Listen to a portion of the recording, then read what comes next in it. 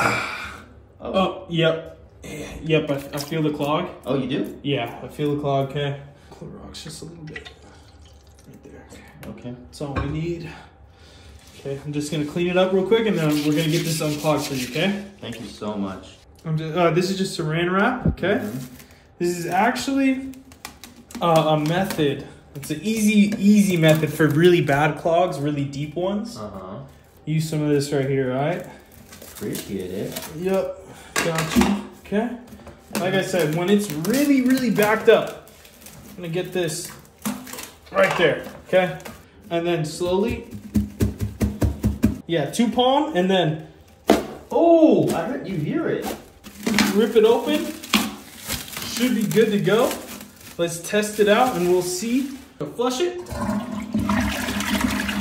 and right there, How did you good to go.